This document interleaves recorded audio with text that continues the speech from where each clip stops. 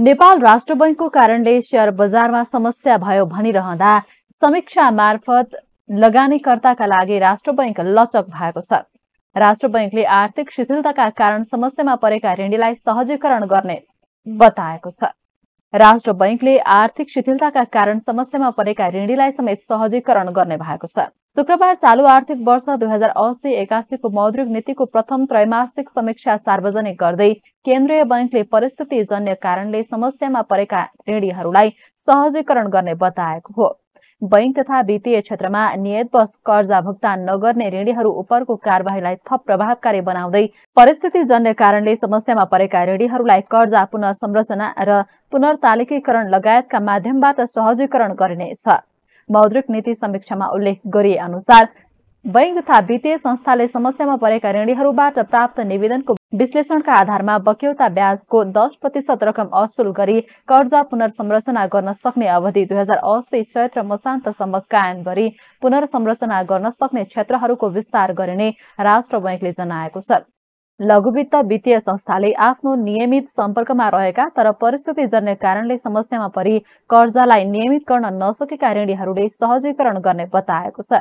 यस्तो कर्जा पुनर्संरचनाका लागि संस्थामा दुई हजार अस्सी चैत्रसम्म निवेदन दिएमा त्यस्ता ऋणीहरूको कर्जालाई पुनर्संरचना गर्न सकिने व्यवस्था गरिने राष्ट्र बैङ्कले जनाएको छ।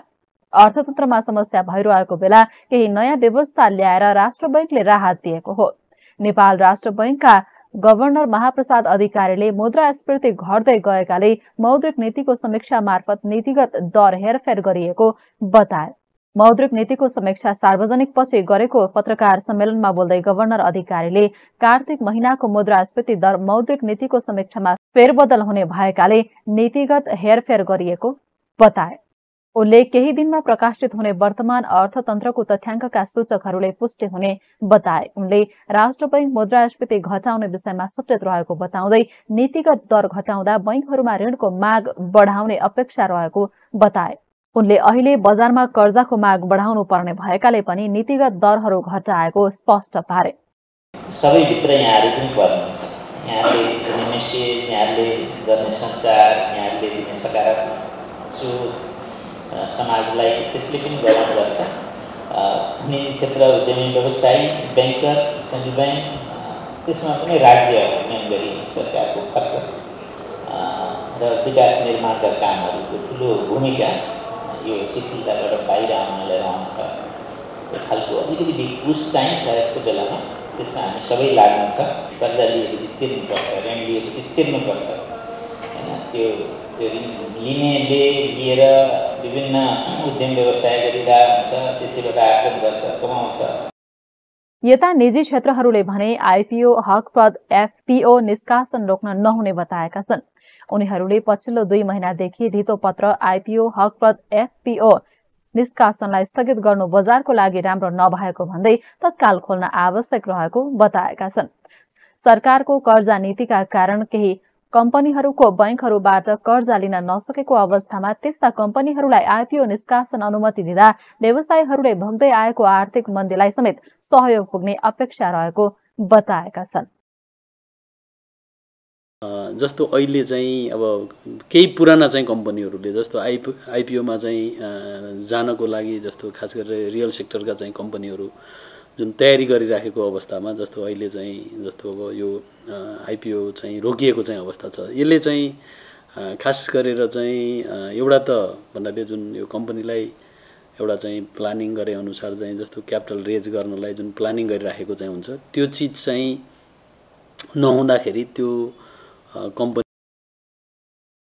अर्थतन्त्र सुधारका लागि बाह्य विज्ञहरू सम्मिलित मौद्रिक नीति सल्लाहकार समिति समेत गठन हुने भएको छ। राष्ट्र बैंकको नयाँ व्यवस्थामा विद्यमान मुद्रास्फीतिलाई प्रभाव पार्ने विभिन्न पक्षहरूको विश्लेषण शोधानान्तर स्थिति र निजी क्षेत्रतर्फ जाने बैंक कर्जाको वृद्धि दरलाई दृष्टिगत गरी बैंक दरलाई सात दशमलव पाँच प्रतिशतबाट घटाई सात प्रतिशत नीतिगत दरलाई छ दशमलव पाँच प्रतिशतबाट घटाई पाँच दशमलव पाँच प्रतिशत कायम गरिएको छ। त्यस्तै निक्षेप संकलन बोलकबोल दरलाई चार दशमलव पाँच प्रतिशतबाट घटाई तीन दशमलव शून्य प्रतिशत कायम गरिएको छ। अनिवार्य नगद अनुपात र वैधानिक तरलता अनुपात सम्बन्धी व्यवस्थालाई यथावत राखिएको छ। त्यसका अतिरिक्त बैंक तथा वित्तीय संस्थाले निष्कासन गरेको डिभेन्चरलाई दुई हजार असी पुससम्मको लागि स्रोतको रूपमा समेत शत प्रतिशत गणना गर्न पाउने व्यवस्था रहेकोमा सो पश्चात उक्त डिभेन्चरको पचास प्रतिशत रकम दुई हजार एकासी असारसम्मका लागि स्रोतको रूपमा गणना गर्न पाउने व्यवस्था मिलाइने उल्लेख छ। बैंक तथा वित्तीय क्षेत्रमा नियत पस कर्जा भुक्तान नगर्ने ऋणीहरू उपरको कार्यवाहीलाई थप प्रभावकारी बनाउँदै परिस्थितिजन्य कारणले समस्यामा परेका ऋणीहरूलाई कर्जा पुनर्संरचना र पुनर्तालिकीकरण लगायतका माध्यमबाट सहजीकरण गरिने बताइएको छ।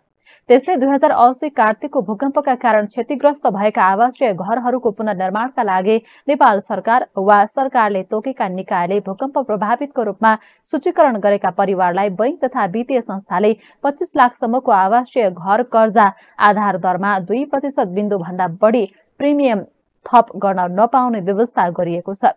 बैंक तथा वित्तीय संस्थाले प्रदान गर्ने रियल इस्टेट कर्जा र पचास लाख भन्दा बढीको सेयर भित्तो कर्जाको जोखिम भार घटाई एक सय पच्चिस प्रतिशत कायम गर्ने बताएको छ। पचास लाखसम्मको आवास कर्जाको हकमा मासिक किस्ता आमदानी अनुपात बढाई साठी प्रतिशत कायम गरिनेछ। नन डेलिभरेबल फरवार्ड कारोबार र स्थानीय प्रिप्रेसन कारोबारको सीमा सम्बन्धी व्यवस्थामा पुनरावलोकन गरिनेछ। यद्यपि अनिवार्य नगद अनुपात र वैधानिक तरलता अनुपात सम्बन्धी व्यवस्थालाई यथावत राखिएको छ। विद्यमान मुद्रास्फीतिलाई प्रभाव पार्ने विभिन्न पक्षहरूको विश्लेषण शोधानन्तर स्थिति र निजी क्षेत्रतर्फ जाने बैंक कर्जाको वृद्धि दरलाई दृष्टिगत गरी मौद्रिक नीतिको कार्यदिशालाई लचिलो बनाएको केन्द्रीय बैंकले जनाएको छ।